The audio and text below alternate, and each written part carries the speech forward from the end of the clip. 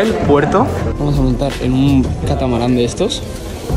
Eh, no sé en cuál concretamente, pero bueno, este es nuestro grupito.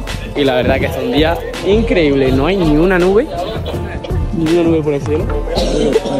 Y con muchas ganas, lo único